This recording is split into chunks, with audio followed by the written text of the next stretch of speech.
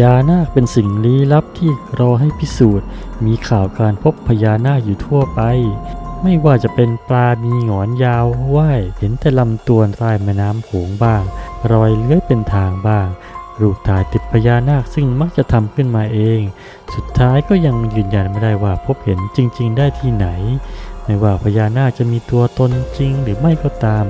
ธรรมชาติล้วนทำให้เราตื่นเต้นได้เสมอเมื่อมนุษย์พบเห็นร่องรอยอัศจรรย์อันดูคล้ายพญานาคสำหรับบ้านเราแน่นอนที่ไหนมีข่าวค้นพบ ที่นั่นจะมีคนแห่กันมา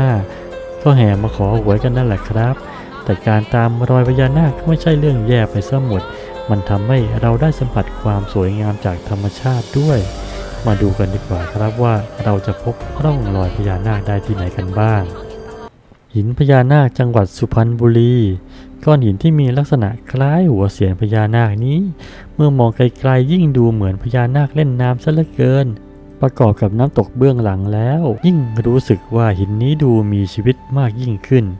หลายคนเชื่อว่าเป็นสิ่งศักดิ์สิทธิ์ต่างพากันเดินทางมา เพื่อขอเลขนำโชคกันเป็นจำนวนไม่น้อย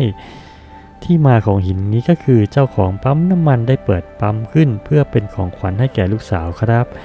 แล้วพบว่าหินก้อนนี้มีลักษณะคล้ายเสียนพญานาค และมันมีสีเขียวด้วย จึงได้อัญเชิญพ่อปู่เทวานาคราชร่างทรงจอมขมังเวทมาทำพิธีเบิกเนตร ใส่ฟันเสริมเขี้ยว ซึ่งเป็นพิธีกรรมอันศักดิ์สิทธิ์ตามความเชื่อครับ โดยร่างทรงที่มาทำพิธีนั่งทางในบอกว่า หินก้อนนี้เป็นพญานาคเดินทางมาโปรดสัตว์ ให้โชคลาภแก่ผู้นับถือและก็เคารพบูชา ก่อนจะเดินทางไปยังที่อื่นต่อ หินเสียนพญานาคนี้นะครับ มีสีเขียว ความสูง 174 เซนติเมตร ฐานกว้าง 199 เซนติเมตรครับ อยู่ภายในบ่อน้ำซึ่งมีน้ำตกไหลผ่านทำให้ชาวบ้านที่เดินทางมาดูต่างมีความศรัทธา และความเชื่อต่างๆ กันครับบางรายเชื่อว่าเป็นสิ่งศักดิ์สิทธิ์เนื่องจากพญานาคต้องอาศัยอยู่ติดกับน้ำจึงมีการเสี่ยงโชคขอเลขเด็ด รวมถึงมีการนำโทรศัพท์มือถือมาถ่ายรูปส่องหาตัวเลข หรือเลขเด็ดจากเสียนพญานาคกันอย่างคึกคักสำหรับหินนี้นะครับ อยู่ที่ปั๊มน้ำมันบางจากบริษัทพาวออยจำกัด เลขที่ 898 หมู่ 11 บนทางหลวงหมายเลข 321 ถนนมาลายแมนตำบลทุ่งคอกอำเภอสองพี่น้อง จังหวัดสุพรรณบุรีครับ บอกกันขนาดนี้คนจะไปมากขึ้นไหม มาถึงถ้ำนาคาจังหวัดบึงกาฬกันบ้างครับ ถ้ำนาคา มีลักษณะทางธรรมชาติที่งดงามแปลกตา ทั้งพื้นผิวหน้าหินที่มีลักษณะคล้ายเกล็ดงูนะครับ รวมถึงรูปแบบของถ้ำที่คดเคี้ยว คล้ายงูยักษ์กำลังกดตัว ดูคล้ายพญานาคยักษ์กำลังกดตัวอยู่ในถ้ำและก็ยิ่งเดินออกมาข้างนอกนะครับ พบหินขนาดใหญ่ที่มีรูปร่างคล้ายกับหัวงูกำลังนอนหลับ หรือเหมือนกับกำลังก้มดื่มน้ำอยู่เลย ยิ่งทำให้ชาวบ้านเชื่อว่านี่เป็นหินศักดิ์สิทธิ์และจะมีเรื่องราวที่เล่าเชื่อมโยงไปถึงตำนานพ่อปู่อื้อลือนะครับ หรือว่าตำนานงูยักษ์ที่ถูกสาปให้กลายเป็นหิน และอีกหลากหลายความเชื่อที่เกี่ยวข้องกับพญานาค เพราะที่ตั้งของถ้ำแห่งนี้ อยู่ใกล้กับแม่น้ำโขงครับ โดยพลังความศรัทธาจึงทำให้คนไทยอยากไปสัมผัสถ้ำแห่งนี้ ตำนานปู่อือลือ เรื่องเล่าเกี่ยวกับปู่อือลือมีอยู่ว่า เป็นราชาที่ถูกสาปให้เป็นพญานาคท่านโดนสาปทำให้เมืองล่มสลายกลายเป็นบึงโขงหลง ปู่อือลือจะพ้นคำสาปก็ต่อเมื่อ ที่แห่งนี้เกิดเป็นเมืองใหม่ขึ้น ซึ่งในอดีตพื้นที่นี้ขึ้นตรงกับจังหวัดน้องคาย แต่ปัจจุบันอยู่ในเขตพื้นที่ของบึงกาฬจังหวัดที่เกิดขึ้นใหม่ครับ ได้มีนักธรณีวิทยาได้ให้ข้อมูลเกี่ยวกับการเกิดถ้ำแห่งนี้นะครับ ว่าเกิดขึ้นจากปรากฏการณ์ธรรมชาติทางธรณีวิทยาเรียกว่า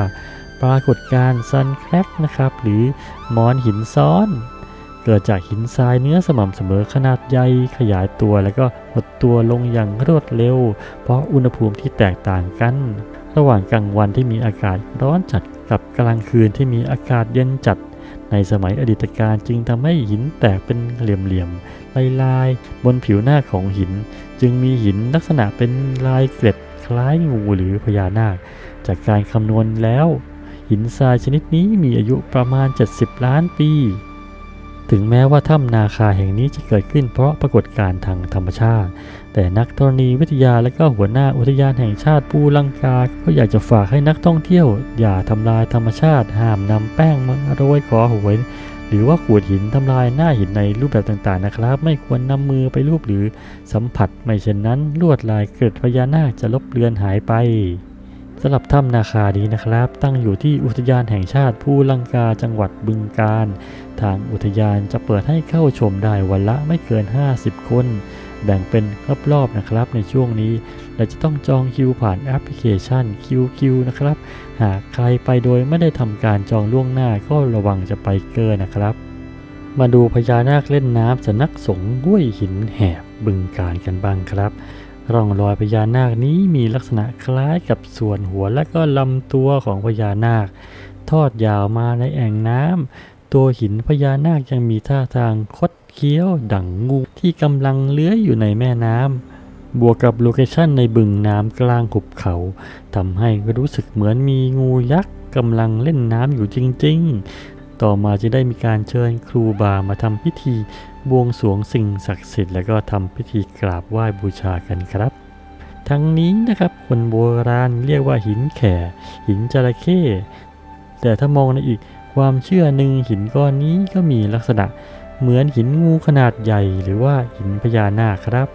โดยที่สำนักสงฆ์แห่งนี้มีรูปปั้น ปู่ศรีสุดโทและย่าศรีปทุมมา ซึ่งเชื่อกันว่าเป็นพญานาคที่ปกปักรักษาสถานที่แห่งนี้อีกด้วยครับ ใครอยากไปเที่ยวหรือไปชมความงดงามของหินนี้กันก็ไปดูกันได้เลยที่สำนักสงฆ์ห้วยหินแหบ บ้านโนนศิลาตำบลโพหมาแข้งอำเภอบึงโขงหลงจังหวัดบึงกาฬมาชมไข่พญานาคอุทยานแห่งชาติภูลังกาจังหวัดนครพนมกันครับ ไข่ยักษ์ขนาดใหญ่มีเกล็ดโดยรอบเหมือนเกล็ดงูดูสวยงาม เป็นที่อัศจรรย์แก่ผู้พบเห็น ไม่ไกลกันนักยังพบก้อนหินรูปร่างคล้ายเสียนพญานาคอีก ชาวบ้านเชื่อเป็นเกล็ดพญานาค ทั้งนี้จุดที่เกิดไข่พญานาคตั้งอยู่ในอุทยานแห่งชาติ ภูลังกาจังหวัดนครพนมครับ และในพื้นที่ไม่ไกลกันนักยังเป็นที่ตั้งของถ้ำนาคีอำเภอบ้านแพง อีกหนึ่งจุดท่องเที่ยวที่สวยงาม โดยเส้นทางตามรอยยังค้นพบจุดเชื่อมต่อกับถ้ำนาคา จังหวัดบึงกาฬที่อยู่ไม่ไกลกันนัก โดยระหว่างทางแวะชมหินผาเกล็ดงู สักพักจะพบหินรูปร่างคล้ายหัวพญานาคที่กำลังแผ่พังพานอีกด้วยครับ จุดนี้เป็นจุดแวะพักสักการะที่คนนิยมกันมาก ไข่พญานาคนี้เป็นก้อนหินใหญ่มีขนาดสูงกว่าคนเล็กน้อย พื้นผิวแตกนี้เกิดจากปรากฏการณ์ที่เรียกว่าซันแครกทำให้ขวดหินมีรอยแตกคล้ายเกล็ดงูเดินชมไข่พญานาคกันแล้ว ก็มาชมถ้ำนาคี ที่อุทยานแห่งชาติภูลังกาจังหวัดนครพนมกันครับ ตามรอยสำรวจจากไข่กันแล้วภายในอุทยานแห่งชาติ พื้นที่จังหวัดนครพนมยังเป็นที่ตั้งของถ้ำนาคี เป็นถ้ำที่มีร่องหินผาลวดลายแปลก ดูเหมือนกับซอกหินนี้เคยถูกงูยักษ์เลื้อยพาดผ่านเป็นรอยเกล็ดพญานาคอย่างชัดเจน บวกกับสีเขียวจากธรรมชาติยิ่งทำให้ดูน่าทึ่งเข้าไปอีก การที่ถ้ำนาคาและถ้ำนาคีอยู่ไม่ไกลกันนัก ระหว่างจังหวัดนครพนมและก็จังหวัดบึงกาฬอดีตพื้นที่นี้อยู่ในจังหวัดน้องคาย อันเชื่อมกับแม่น้ำโขงด้วย จุดนี้จึงเป็นจุดเชื่อมต่อที่น่าสนใจสำหรับนักท่องเที่ยวที่อยากจะท่องเที่ยวตามรอยพญานาคมากครับ ภายในถ้ำยังพบรูปปั้นสักการะองค์พระปางนาคปกและก็บ่อน้ำที่เป็นจุดที่นักท่องเที่ยวนิยมสักการะบูชาอีกจุดหนึ่งด้วยครับ สำหรับจุดท่องเที่ยวตามรอยพญานาคยังมีหินรูปร่างแปลกๆ คล้ายพญานาค อีกมากที่รอให้เราสำรวจไปค้นพบนะครับ ไว้พบกับเรื่องราวน่ารู้กับชิคเก้นเกมี่ได้ในคราวหน้า สวัสดีครับ